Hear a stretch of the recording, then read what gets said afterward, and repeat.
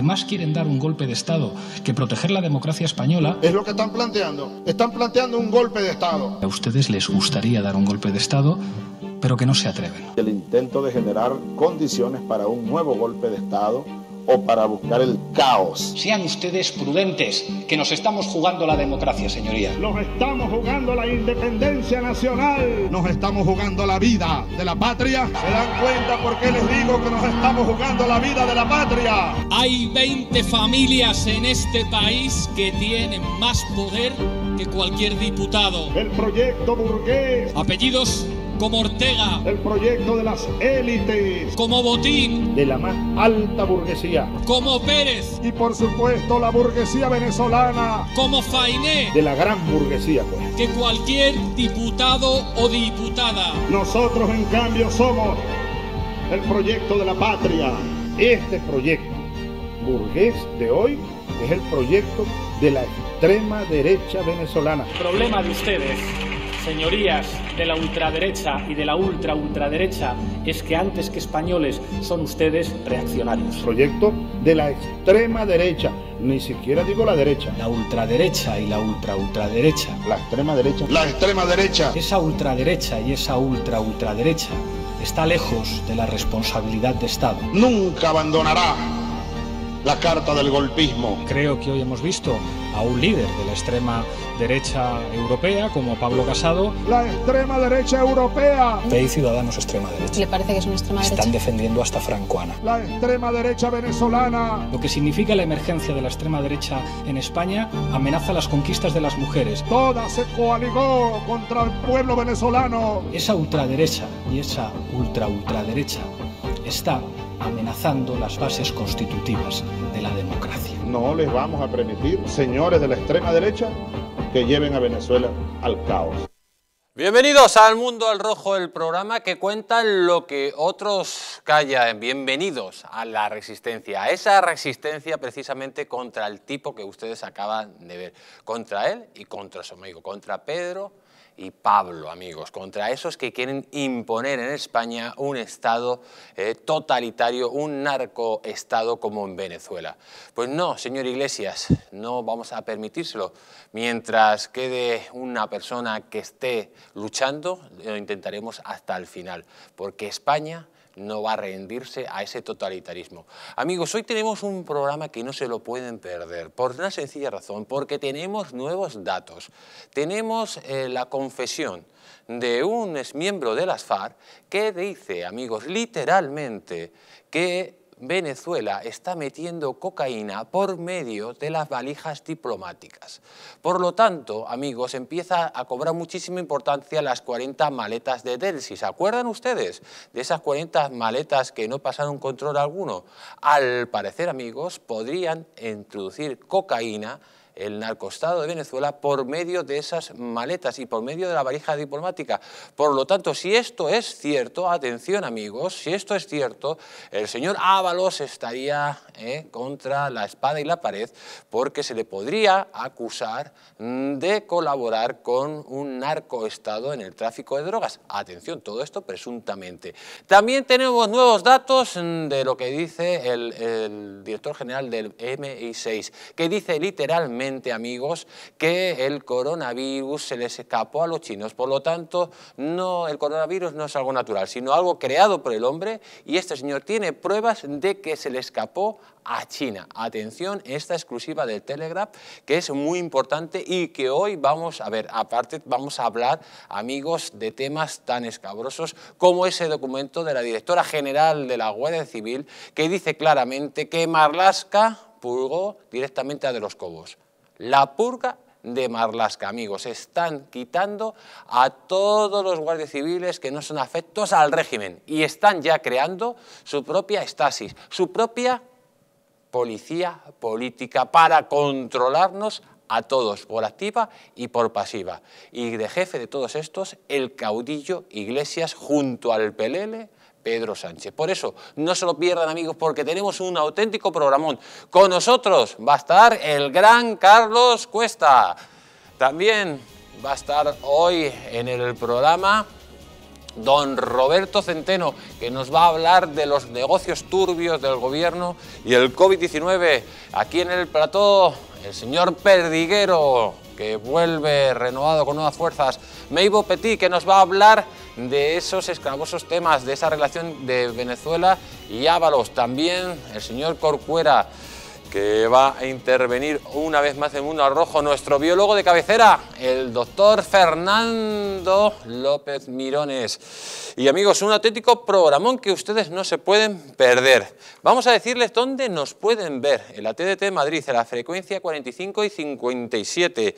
En la 8 de Mediterráneo, en la Comunidad Valenciana. También en la 8 de Zaragoza. Y atención, aquí un fuerte abrazo a la 10, a la cadena 10 de Tenerife, que nos están viendo en estos instantes. Si ustedes no están en estas comunidades autónomas, pues nos podrán ver eh, online en www.eldistrito.es o www.distritotv.es, las redes sociales, en Twitter, en arroba Mundo Rojo, hashtag Mundo Rojo, en Facebook, en Distrito TV, en YouTube, en Distrito Televisión. Un fuerte abrazo a todos los amigos de YouTube.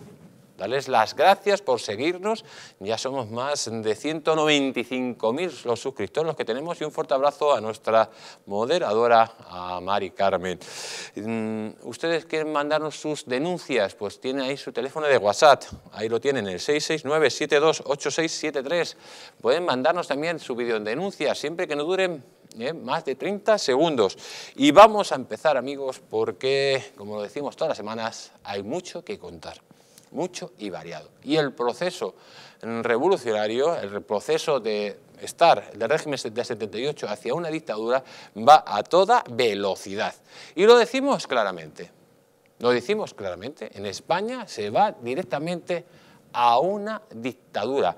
La democracia que conocemos está desapareciendo a marchas forzadas, pero esto no se está haciendo, amigos, por medio de un golpe de Estado o por un medio de un enfrentamiento eh, civil o por la violencia. No, no, no. Los procesos totalitarios ahora son más sofisticados, sino que eso digan al señor Chávez.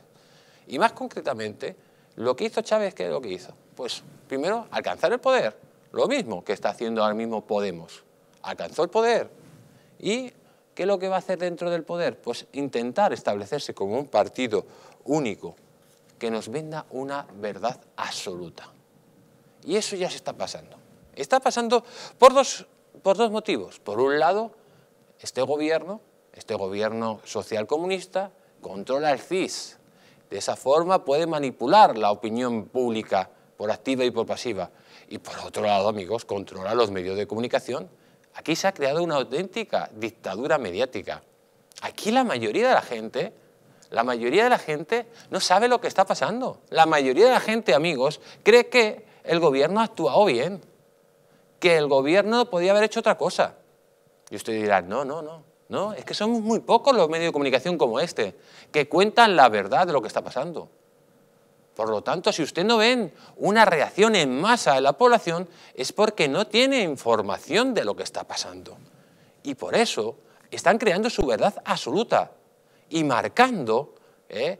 como con la cruz de David, a todos aquellos que protestan y se niegan a rendirse ante ellos. ¿Y cómo los denominan? Lo han visto en el vídeo de antes, la extrema derecha. Les tematizan con la extrema derecha.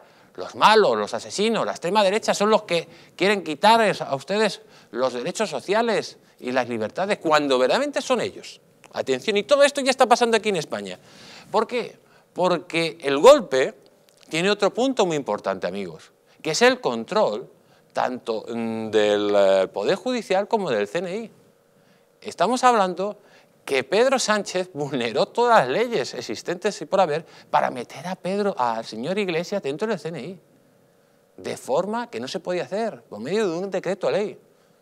Y ahí ya tenemos al señor Iglesias controlando todos los secretos de Estado, amigos, controlando sus comunicaciones, controlando a los espías. Y para colmo, tenemos a la comisaria política Lola Delgado como fiscal general del Estado, controlando a los fiscales. Hay que recordar que muchos fiscales, amigos, son los que inician las investigaciones en, en la instrucción junto a los jueces.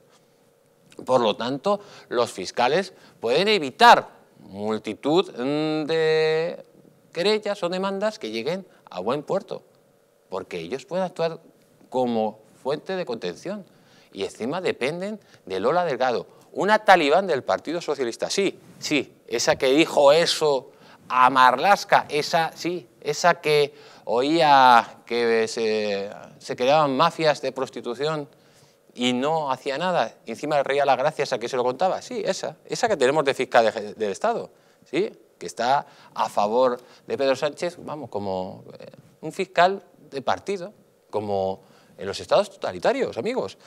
Y luego, ¿qué más cosas? Pues controlar las Fuerzas Armadas. Por un lado, amigos, la mayoría de los que llegan a generales son personas que mm, tienen que tragar carros y carretas para llegar a generales y luego, posteriormente, eh, para ya tener los altos cargos dentro de la dirección del ejército, pues tienen que ser muy afines al partido. Eso ya lo han conseguido. Esa filtración ya lo han conseguido. Quedaba la Guardia Civil y la Guardia Civil la están purgando. La están purgando por activa y por pasiva, para controlar las fuerzas de seguridad del Estado y el ejército. Todo eso ya se está haciendo, amigos. ¿Qué es lo que le faltaba? Pues intervenir económicamente. ¿Cómo intervenir económicamente? Sobre todo para manipular el voto, pues con la paguita, la paguita del sueldo vital. A partir de ahora, amigos, me dirán ustedes que una persona que cobra mil euros por no trabajar si le ofrecen un trabajo de 950, ¿va a trabajar? Pues va a decir que no. Y luego ya hemos visto cómo están llamando todas las webs islamistas para que vengan de Marruecos aquí a España a cobrar ese sueldecito, esa paguita.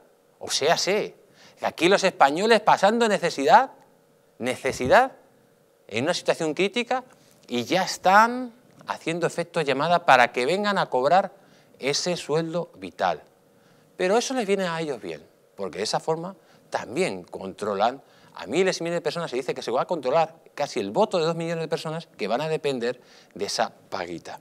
Todo esto está pasando en España. Y en una España donde el presidente de gobierno, además, presume, amigos, presume de su gestión, presume de haberlo hecho muy bien. Dice abiertamente que gracias a sus medidas no han muerto 300.000 personas. Ha llegado a decir. O sea, sé, señor Sánchez, que si hay un atentado y mueren 100 personas, usted respondería de la siguiente, forma. Ha muerto 100 personas, pero hemos salvado los 47 millones restantes de españoles. ¿Pero esto qué es? Que han muerto 50.000 personas y todavía presume que somos el país del mundo con más muertos por cada 100.000 habitantes, señor Pedro Sánchez. Y encima dice que viva el 8 de marzo que fue el epicentro del contagio aquí en España. ¿Esto cómo es posible? ¿Cómo podemos tener un presidente de estas características, amigos? Es que está rozando la psicopatía. Hemos dejado en manos de un presunto psicópata el país. Esa es la pregunta que nos tenemos que hacer todos, porque ya no se entiende. O sea, es que cada día hay un escándalo que tapa al anterior. Y mientras Marlasca, mintiendo, en el Parlamento por activa y por pasiva, porque la han pillado con el heladito de los helados. No cambió de los cobos porque iba a hacer una remuneración. No, lo cambiaste porque habías pedido la confianza y porque no te pasó el informe. Y para colmo, el conejito de Duracel, la Irene Montero, amigos, diciendo que sabían ¿eh? que había, que el coronavirus venía con mucha fuerza, que era muy peligroso y que a pesar de eso convocaron las manifestaciones del 8 de marzo. Por cierto, eso provocó un aumento de los contagios de más del 2.000%. Si había mil personas contagiadas, amigos, en esos momentos en España, eso lo multiplicó casi hasta las 23.000 personas. Por lo tanto, esa imprudencia criminal tienen que pagarla, porque pusieron por encima de la salud de los españoles la ideología. Y un español no puede permitir que muera la gente como ha muerto por culpa de estos ineptos.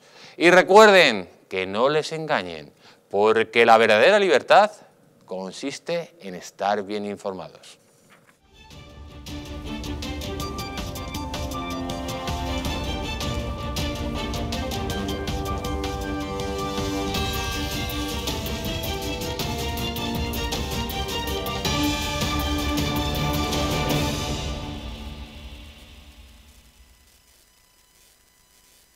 Amigos, si hablábamos de Pedro Sánchez, que presumía, que presumía del 8 de marzo. O sea, presume de su ineptitud, de su, imprudencia y de haber provocado con esas dos características muy propias de él, los contagios, el mayor eh, centro de contagios que ha habido en España, que ha sido las manifestaciones del 8 de marzo. Y ustedes dirán, ¿pero cómo va a presumir del 8 de marzo? Pues sí, amigos, este señor, este señor roza la enfermedad mental. Vamos a escucharlo. El país que necesitamos es el de la igualdad real y efectiva entre hombres y mujeres. Y yo lo digo alto y claro, viva el 8 de marzo. Viva el 8 de marzo, que provocó miles de contagios, que provocó miles de muertos, pero viva el 8 de marzo. Lo vuelve a repetir y saca pecho, amigos. Este señor les importa ustedes un pimiento. Lo que les sucede a ustedes es un pimiento. Por encima de su salud, puso claramente la ideología, la ideología de género, que parece que mata más, amigos, de lo que cuentan. Y vamos a seguir, amigos, vamos a seguir porque, lógicamente, todo esto tuvo una réplica. Estamos hablando que el señor Abascal, eh, pues le, le habló claramente y le dijo al señor Sánchez, usted acaba de decir viva la enfermedad y viva la muerte. Es que efectivamente, ¿Cómo se puede presumir y hacer alardes del 8 de marzo, que por cierto, desde aquí he visto muchos mensajes que han mandado ustedes, que quieren poner el 8 de marzo como el día de las víctimas del coronavirus, y todos tenemos que apostar porque ese sea el día de la víctima del coronavirus y lo recordemos. Pero vamos a recordar lo que dijo el líder del Partido Verde al señor Sánchez después de estas indominias eh, afirmaciones. Decenas de miles de españoles muertos por el sectarismo y por la negligencia criminal de este Gobierno. Y millones de españoles arruinados por el sectarismo y por un estado de excepción encubierto. Ha venido usted aquí a vanagloriarse de que España ha protagonizado el confinamiento más estricto, es decir, con la mayor restricción de libertades y con la suspensión de derechos fundamentales, el mayor confinamiento del mundo occidental y a la vez a la cabeza en el número de muertos por habitante. ¿Y todo por qué? Ambas cosas porque ustedes ocultaron información. Y se ha atrevido a venir a esta tribuna a gritar viva el 8 de marzo, que en este contexto es tanto como gritar viva la enfermedad y viva la muerte. Pues viva la enfermedad y viva la muerte, que es verdad, que es lo que ha gritado el señor Pedro Sánchez. Por lo tanto, si alguien tiene pensado votar a este señor, que se lo piense dos veces, porque un líder que pone por encima la salud pública ¿eh? la pone eh, por encima la ideología, la salud pública, amigos, hay que hacérselo pensar. Vamos a seguir, vamos a seguir hablando porque Pedro Sánchez lo dice a las claras, ya ni se corta. Y habla claramente que Marlasca está destapando a la policía patriótica. Eh, por eso lo están atacando. O sea, Marlasca está haciendo la purga de aquella policía que ha firmado un juramento para cumplir la ley. Y eso no le gusta a los socialistas, que se cumpla la ley. Lo que quieren es que se cumpla su ley, la ley del Partido Socialista. Si no, usted fuera, como de los Cobos. Vamos a escucharle. Es que el ministro del Interior, que está destapando toda esta mal llamada policía patriótica y que está colaborando con la justicia, es el ministro Marlasca y por eso ustedes le atacan. Por eso ustedes le atacan si a usted le parece mal que los ministros del Interior o de cualquier otro departamento formen sus equipos de acuerdo con criterios de confianza, pues hombre, se lo podría haber dicho al exministro del Interior, el señor Fernández Díaz, que removió los mandos que estimó como otros, pero que sin embargo usted cayó cuando era portavoz del Partido Popular. Pues ahí lo tienen, ocultando la verdad una vez más. El señor Marlasca echó a de los Cobos porque de los Cobos no cometió un delito que era revelar el secreto de una información cuando estaba judicializada, señor eh, Sánchez, no porque fuera de su confianza o no. Por lo tanto, ¿cómo es posible que usted y Marrasca, que han jurado la Constitución y que juraron hacer cumplir la ley, cojan y destituyan a personas que se comprometen a con cumplir con la ley? ¿Qué es lo que quieren? ¿Policías que no se ajusten a la ley? ¿Que no se ajusten al imperio de la ley? Pues sí, Lo quieren porque están en su proceso, en su proceso de demolición del régimen de 78. Y hay que decirlo ya clarito.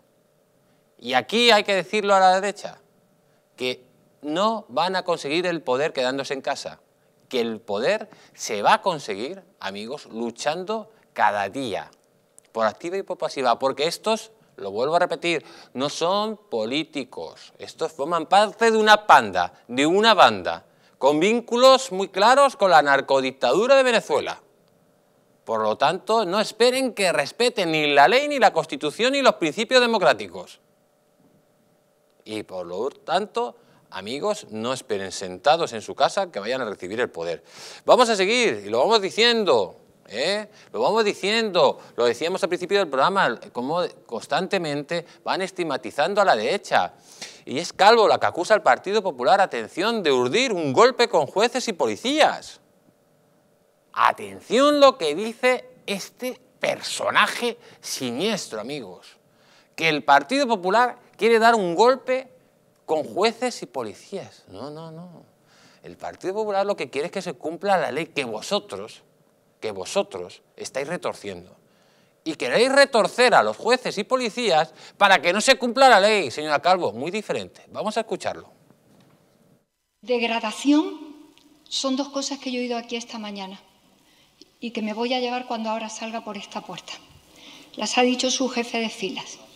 Impropias de un líder joven, de un partido de derechas europeo y de una gran democracia como es la democracia española. Les avisamos de que no podrían gobernar ¿En qué andan cuando pierden las elecciones? ¿En qué andan cuando esta Cámara le otorga la confianza legal y legítima a un candidato y forma gobierno? ¿En qué andan? Porque lo ha dicho literalmente usted. Les avisamos de que no podrían gobernar, pero luego lo ha mejorado, porque luego ha dicho en singular y yo lo pondré en plural. A usted, refiriéndose al presidente del Gobierno, le acabarán pescando teniendo en cuenta que ningún miembro del Gobierno somos pescados, ¿en qué anda usted, señor Casado? ¿En qué andan contra el Gobierno constitucional de España? Pues ahí la tienen, ahí lo tienen, amigos. La oposición se tiene que callar, se tiene que callar. No tiene que decir nada, no tiene que criticarla. Y yo le diré a la Calvo, ¿en qué anda? Pues claro, ¿en qué anda, señora Calvo? A ver cómo justifica las 50.000 muertes, a ver cómo lo tapan. Ya están tapándolo, manipulando el número de muertos, que le da lo mismo, y luego lo hablaremos. Pero además, ¿qué vinculación tiene su gobierno con la narcodictadura de Venezuela? Y esas maletas que llegaron al aeropuerto de Madrid, que según, y luego lo hablaremos, según un miembro de la FARC, generalmente llevaban, llevaban droga. ¿En qué anda, señora Calvo, su gobierno? ¿En el tráfico de drogas tal vez? Bueno, ¿en qué anda? Y amigos, la verdad que yo creo que hay que destacar, hay que destacar lo que está haciendo Cayetana Álvarez de Toledo. Está siendo alabada por vos, por el Partido Popular, por todos, ¿eh? menos por la izquierda, claro. Y es que cada vez que habla, les da un repaso a estos señores, es que es unos, una serie de bofetadas que los pone en su sitio, amigos, yo creo que mejor escucharla ¿eh? y no más palabras. Veanla.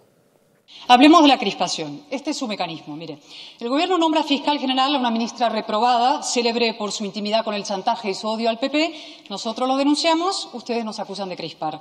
Lanzan a la Abogacía General contra la juez que investiga una pandemia que ha costado 43.000 vidas, según el INE. Lo denunciamos, nos acusan de crispar. Usan la Guardia Civil para combatir la desafección al Gobierno y equiparan verdad con fuentes oficiales. Lo denunciamos, nos acusan de crispar. Colocan a una asesora de Moncloa al frente de la CNMC lo denunciamos, nos acusan de crispar. Hipertrofian el Ejecutivo y jibarizan el Legislativo. Lo denunciamos, nos acusan de crispar. Llaman corrupta a la justicia, presionan al Supremo, reclaman indultos para los golpistas, acosan a la juez que les investiga. Lo denunciamos, nos acusan de crispar. Pactan la derogación de la reforma laboral con un partido que justifica el asesinato político. Lo denunciamos, nos acusan de crispar anuncian una nueva mesa de sesiones con los que atentaron contra el Estado democrático y dicen que lo volverían a hacer lo denunciamos, nos acusan de crispar. Admiten en un vídeo cristalino que conocían el enorme riesgo de acudir al 8M. Lo denunciamos, nos acusan de crispar. Nos llaman fascistas es decir, criminales, tiránicos, asesinos, lo denunciamos, nos acusan de crispar. Y lo último, de momento, cesan a un coronel de la Guardia Civil por negarse a cometer un delito. Luego mienten aquí, en el Senado, en Moncloa, lo denunciamos y nos acusan de crispar. La acusación de crispar, señora Calvo, es una vieja tradición socialista. La inició el presidente González para tapar los escándalos de Filesa, Roldán y Los Gal. Lo actualizó el señor Zapatero cuando sus pactos con ETA, el estatuto inconstitucional y la debacle económica. Y ahora ustedes lo reeditan. Nos quieren sumisos y silentes. Olvídense. No son nuestras palabras las que causan la crispación, son sus hechos. Pues efectivamente, no quieren ningún tipo de crítica, no quieren ningún tipo de crítica, porque así es el totalitarismo. Y además, aquel que se queje es un fascista, es la ultraderecha que quiere dar un golpe de Estado. O sea, el uso legítimo de la oposición, ellos lo estigmatizan diciendo que son la ultraderecha que quieren dar un golpe de Estado, cuando el golpe de Estado lo están dando ellos, amigos se repite la historia de Venezuela. Vamos más para adelante, vamos más adelante porque ya tenemos datos de ese proceso contra el delegado de gobierno y esa investigación que va a toda velocidad. Porque dos doctoras de la delegación del gobierno admiten a la Guardia Civil que el 8 de marzo disparó los contagios, amigos. Y lo cierto es que esto ya es determinante. O sea, el 8 de marzo es el día clave es la fecha clave y todos los informes están enfocando al gobierno. Están en la línea, en la línea de fuego. Y sobre todo, amigos, que ya dos doctoras de la delegación de gobierno digan que el 8 de marzo disparó los contagios, sabiendo además lo que ya sabían, ponen a Sánchez y a su delegado de gobierno en una situación muy complicada. Vamos a escuchar el siguiente vídeo.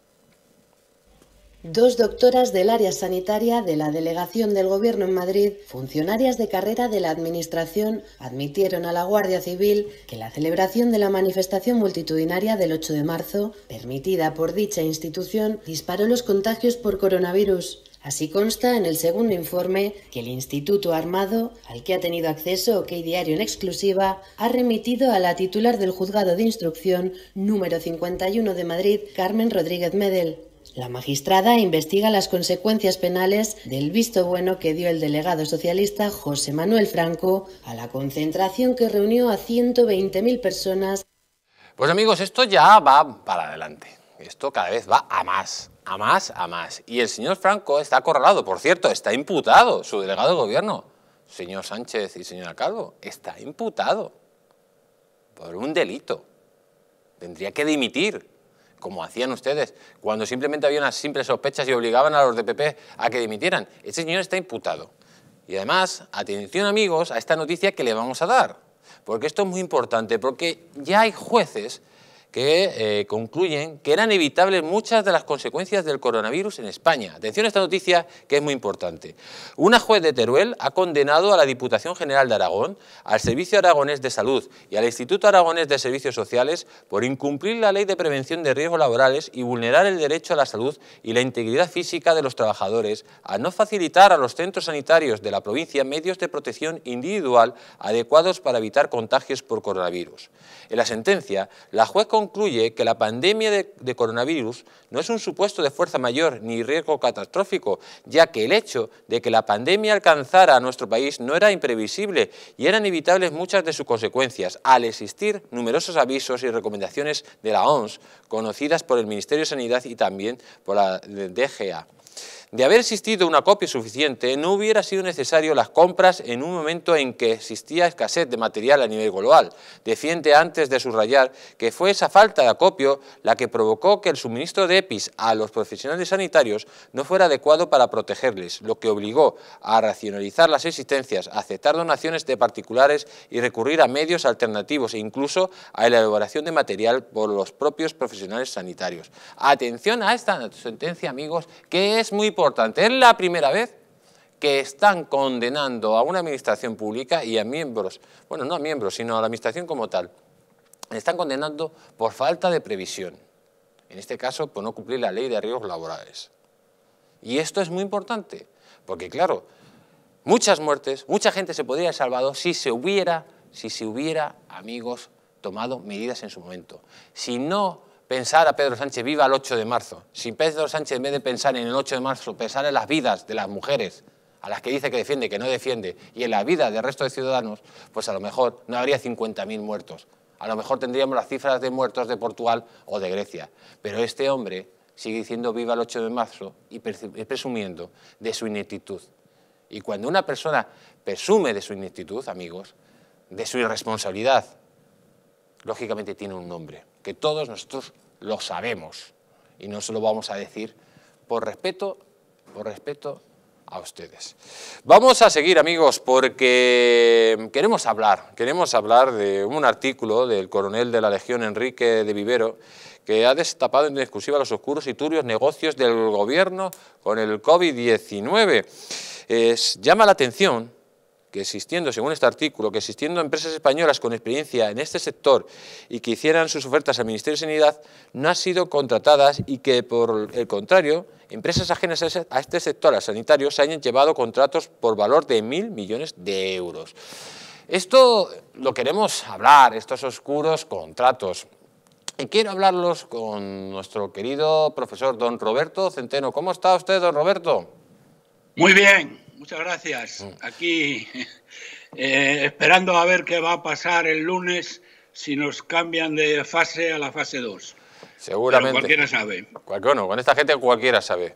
Profesor, eh, lo cierto, profesor Centeno, lo cierto que mm, han sido unos contratos muy turbios, valorados en más de, un de mil millones de euros, los que se han dado con esta pandemia a empresas que no tenían ningún tipo de relación con el sector sanitario, mientras que había, empresas aquí en España que sí tienen relación y que han pasado directamente de ellas, y todo esto ha pasado mientras morían miles y miles de personas en el país. Cuéntenos, eh, profesor, ¿qué es lo que ha sucedido? Bueno, vamos a ver, lo que ha sucedido, eh, la verdad, primero tengo que decir que el artículo del coronel Vivero eh, ha hecho una descripción exhaustiva de la incompetencia inaudita y ha analizado contrato por contrato eh, de una manera muy profesional para eh, destapar la golfería que es más propia de chorizos, ni siquiera de corruptos, más propia de chorizos en, la copia, en las compras de material médico. Pero, mm, sin embargo, lo que sí te tengo que decir es que eh, es infinitamente, infinitamente peor lo que se nos viene encima. La estrategia, lo has dicho tú antes, pero es que es cierto, la estrategia de este gobierno de trileros, golpistas y analfabetos es muy clara. Están siguiendo paso a paso las distintas fases de un golpe de Estado bolivariano como el protagonizado por Hugo Chávez en Venezuela y que ha llevado al país más rico de Latinoamérica a la miseria y al hambre más atroces. La motivación de Sánchez es 100% política y 100% un desastre sin paliativos. Actúa cada vez más como Chávez y Maduro.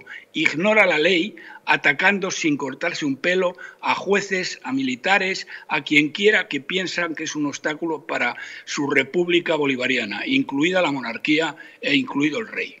La catástrofe sanitaria, que es de 90.000 muertos contabilizados por las cifras de la Seguridad Social, que es la estadística más fiable, ha sido, y el mal llamado estado de alarma, eh, nos han llevado a que están hoy sin trabajo dos y medio millones de personas, incluidos autónomos, 3,1 millón, millones de ERTES, de la que más de un millón serán ERES, y han destruido 140.000 empresas, de, de, ellas Nissan, la mayor de todas, deja 28.000 familias sin trabajo entre directos e indirectos. Pero, mm, querido Jesús, lo más grave está por llegar. Lo más grave está por llegar. Eh, vamos a recibir, tú estás hablando, y el coronel hablaba en su artículo, de unas golfadas de esta gente eh, mm, que estamos hablando de que han robado, vamos, han robado, han saqueado todo lo que han podido. Claro, don Roberto, porque esta gente que hayan saqueado, presuntamente hayan saqueado mil millones de euros, que hayan repartido ese dinero entre empresas que, de amiguetes, no ya de, esto ya ni corrupción, es que es una panda de, chorizos, o presuntamente chorizos, porque eh, son empresas que no tienen relación con el sector sanitario, eh, que han comprado a precios desorbitados directamente. Ya, pero fíjate, Jesús, estamos hablando de mil millones de euros. ¿eh? Lo que es importante aquí es el procedimiento. Pero la pregunta es, ¿Y qué va a ocurrir cuando el Banco Central Europeo y la Unión Europea nos permitan endeudarnos no en mil millones, sino en 200 o 250 mil millones de euros? ¿eh? Donde además, y como comentaba la semana pasada, la vicepresidenta económica Calviño, ¿eh? ya ha apuntado a lo que los piensan dedicar. Los piensan dedicar a la transición ecológica, al pacto por la ciencia y a la revolución digital. Realmente delirante. ¿Y qué significa esto? Pues querido Jesús, que se lo van a gastar en los que le dé la real gana y van a robar lo que le dé la real gana. Y aquí, insisto, no hablamos de mil millones de euros, sino de 250 mil millones que van a estar gestionadas por trileros y delincuentes. Y además, mientras en otros países bajan impuestos, ¿eh? la señora Merkel ha bajado el IVA por si no lo saben, el jueves pasado, del 19 al 16%. Y aquí los comunistas acaban de proponer a, esta, a este cachondeo que hay en el Parlamento eh, para, para, salir de la crisis, eh, dirigida por un analfabeto, eh, eh, ha propuesto subir 80.000 millones de euros en impuestos, que es la destrucción de las clases medias y parte de las clases trabajadoras. ¿eh? Esto es verdaderamente tremendo. Pero luego, luego ¿qué hace la derecha? Pues por si esto fuera poco, la tercera fuerza de la derecha, Ciudadanos, ha cambiado de bando. Ahora ¿eh? con todos estos datos que hay encima de la mesa ¿eh? y el trilero de Sánchez, Inés Arrimadas ha enloquecido y ha traicionado a su patria, a su ideología y a sus votantes. Verdaderamente estamos ante una hecatombe económica tipo Venezuela. Tú le dabas mucho valor, y creo que es importante, a la sentencia de esta juez de Aragón. Pero claro, si tú miras más arriba y te das cuenta que el Tribunal Supremo y el Tribunal Constitucional lo controla este tío, ¿eh? ya me contarás. Pero fíjate el grito que dio el otro día, que es absolutamente de locos. Viva el 8 de marzo. ¿Por qué una persona que, a pesar de todo, tonto no es, ¿eh? grita eso en el Parlamento? Pues es un aviso a los jueces de decir, oiga, nada de meterse con el 8 de marzo, ¿eh? porque ya he dicho yo que viva el 8 de marzo. Y si yo digo que viva el 8 de marzo, es que viva el 8 de marzo. Y me da igual lo que digan jueces de instancias inferiores, porque cuando lleguen a las superiores ¿eh? va a haber una serie de personas que demostrarán y jurarán que el 8 de marzo no ha tenido que ver con nada con los contagios, ¿eh? porque también existen de esos. En la Fiscalía ya hay gente que dice que no tienen nada que ver con los contagios y que lo han analizado muy a fondo y que no tiene nada que ver el 8 de marzo con los contagios. Es decir, estamos viviendo, vamos a ver si nos damos cuenta, en una dictadura de tipo bolivariano ya, ya, ¿eh? ya. Entonces, mientras no sepamos o no podamos eh, cargar, vamos, desprendernos de esta gente, mm, mal vamos. Mal vamos, ¿no, don Roberto? Y una, y una última cosa, una última cosa eh, que tengo que decir. Eh, bueno, yo no entiendo por qué, con todo lo que está pasando en la Comunidad de Madrid, donde Aguado, el hombre de Ciudadanos, se reúne con toda la izquierda, la chusma más izquierdista, que son la EZ de la EZ, de la izquierda mundial, el Más Madrid, Podemos, etcétera, para decir que tenemos que subir impuestos, que hay que subir impuestos, que es justo lo contrario de lo que decía la economía liberal de Ciudadanos. Estos tíos están locos, pero lo que no entiendo de verdad, ¿eh? y eso no tiene la culpa ellos, por qué Casado no le permite, como se lo está pidiendo todos los días a Ayuso, le está pidiendo a Casado de rodillas que la deje convocar elecciones, ¿por qué no las convoca? ¿Eh? En un tuit que escribió a un amigo mío decía que, la, que, bueno, que no era el momento adecuado. Allí el, el, miércoles pasado, el miércoles pasado, el ABC hizo una encuesta sobre este tema en Madrid y el 91% de los madrileños casados, a ver si te enteras, el 91% de los madrileños quieren que se convoquen elecciones. Pues, pues ahí, queda, ahí queda su, su propuesta, don Roberto. Eh, un fuerte abrazo y cuídese usted muchísimo. Vale, lo mismo digo, un abrazo. Hasta pronto. Adiós. Y amigos, vamos a terminar para irnos a publicidad con esta noticia. Eh, es una noticia que va a impactar, pero es un adelanto de lo que viene después. Con Melbourne Petit vamos a, ver lo que está pasando en los Estados Unidos y, lo del tráfico de drogas, cómo mete los narcodictaduras en Venezuela, cómo mete la droga por medio de las valijas diplomáticas aquí en España, según unos periodistas y un, eh, pues una persona que estuvo el azar. Pero quiero que vean esta noticia. El informe Cardona, donde se revela que Podemos fue creado por Hugo Chávez y Evo Morales para introducir cocaína en Europa ¿eh? Pues empieza a circular de menos. El famoso y ultrasecreto informe que Cardona había redactado para su superior un año antes y que llegó al comandante general del ejército de Bolivia, José Luis Vegazo Ampuero, eh, desconociendo que dicho militar estaba implicado en el narcotráfico, se refería a la creación de Podemos como puente de entrada de la droga a Europa. Esto lo publica 1021, amigos. Atención, nos está hablando del famoso cártel de cocaína identificado como el cártel de las estrellas. Y dice literalmente este informe lo siguiente.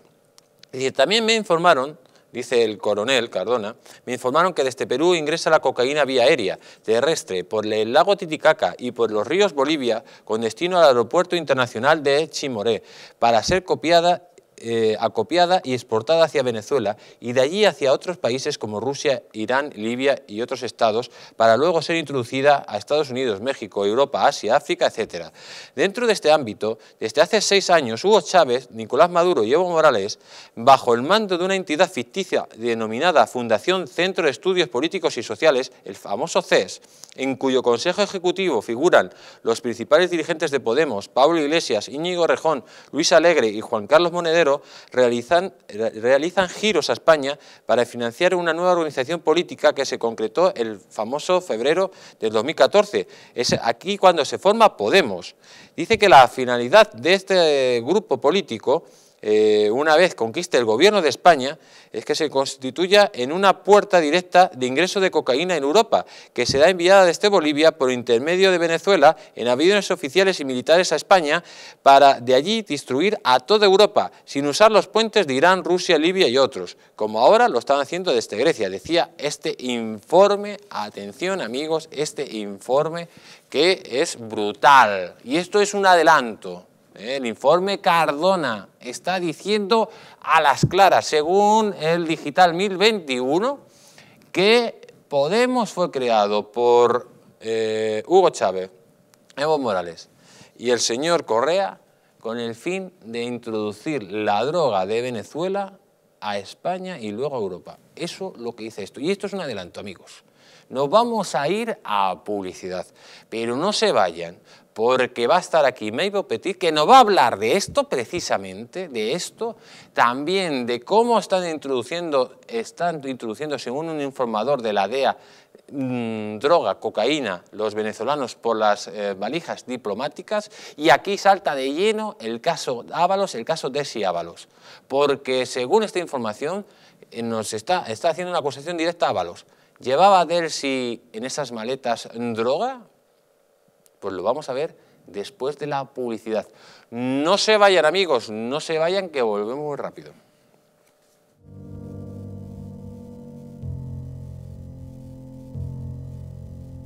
España no, no va a tener como mucho más allá de algún caso diagnosticado.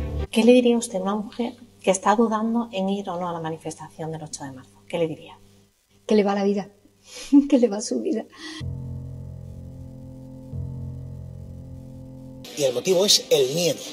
No hay una razón médico-sanitaria. Y que no hay ninguna razón de salud pública que aconseje tomar ninguna medida o que impida la celebración de eventos de este tipo. Denunciábamos que los medios estábamos siendo demasiado alarmistas con el coronavirus. ¡Vamos a morir todos! ¡Estefanía! ¡Estefanía! Gritad Estefanía qué preocuparse, estamos muy tranquilos, ¿vale?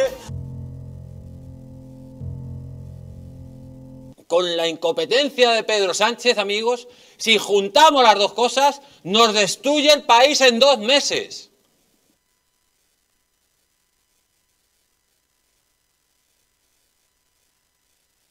Para que no se vuelva a repetir, colabora con nosotros y lucharemos por ti.